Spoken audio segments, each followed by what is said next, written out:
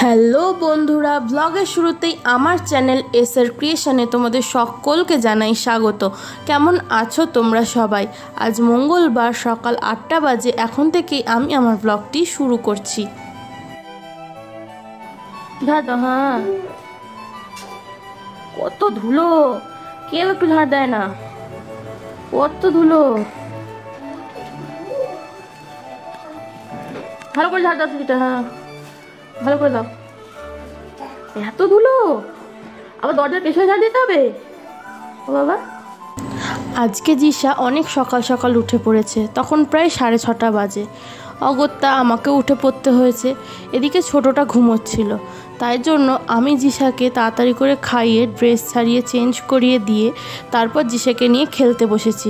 যেহেতু ছোটটা ঘুমোচ্ছে, তাই এখন আমি আর আমার বড় মেয়ে একটু টাইম পাবো। হ্যাঁ সুন্দর হচ্ছে।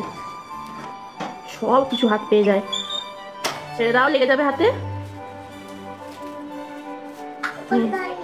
উপরে ঝাড় দেবে? এ মা কত ধুলো। না উপরে যেতে হবে না পড়ে যাবে সেই থেকে।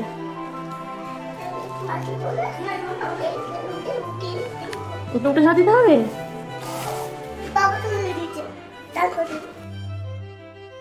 সকাল সকাল জিসার বায়না। ও ঘর ঝাঁট দেবে। আমি তো শুনে অবাক। এই ছোট্ট মেয়ে বলে কি?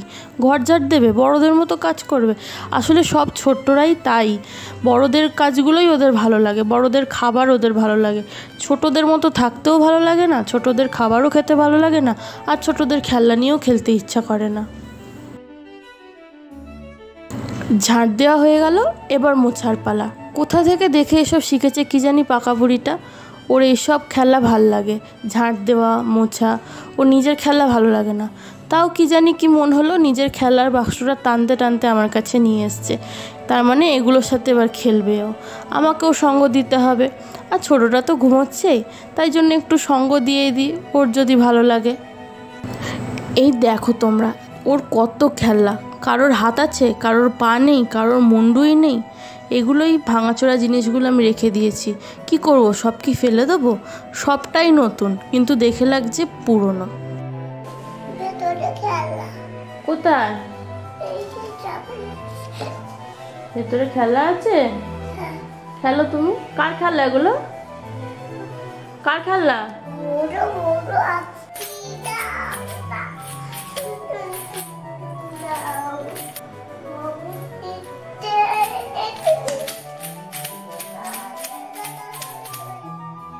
ডুবি ডুবি খাও।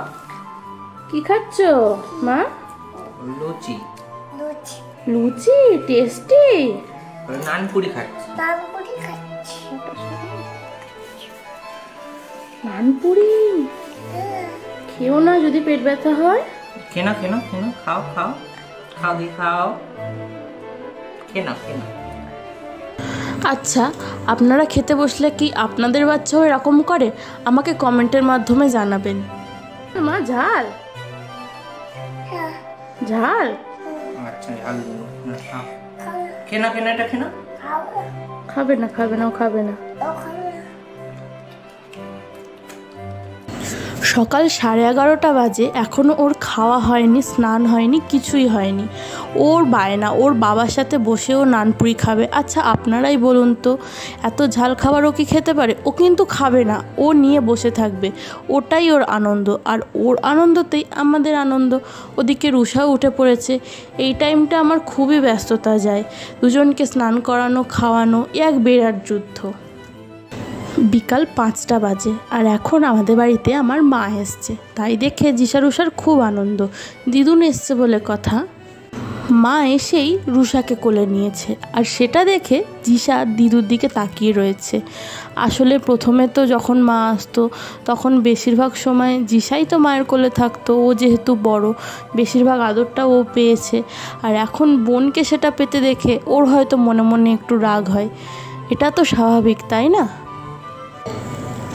আর দেখো, ওদিকে রুষাকে আগে মা কোলে নিয়েছে বলে জিসা আর দিদুর সাথে কথাই বলছে না।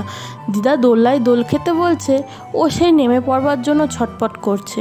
ওর এত রাগ হয়েছে, ও দিদুর সাথে কথাও বলবে না, দিদুর সাথে দোল্লাও খাবে না, কিছুই করবে না। মুখ ভার করে বসে রয়েছে বেচারা।